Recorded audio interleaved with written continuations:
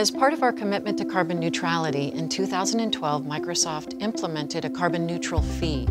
And as part of the structure of this fee, we determine the amount of funds that we will be spending on environmental initiatives. And then we take that total amount and we divide that by our projected emissions, which gives us the price on carbon.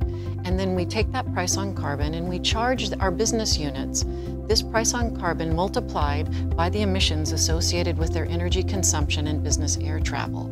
And then we take those funds that we collect on a quarterly basis from the business units and we spend these funds on our environmental initiatives. And these include not only efficiency projects, but also green power projects, carbon offset projects, e-waste recycling, research, and innovation.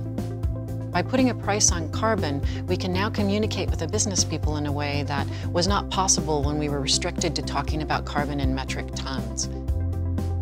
Natural Capital Partners works with Microsoft to take a portion of, this, of these funds and direct them to high quality emissions reduction projects around the world.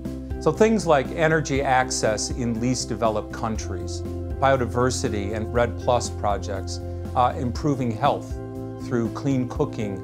Those are all things the Microsoft portfolio has really been designed to address. What's really great about what Microsoft has done is they, they just actually, they did it. They went out and, and put a price on carbon, they figured it out, and I think that their leadership in this area will, will be the beginning of a real trend in businesses to start to put a price on carbon and manage this, this very real cost that they have.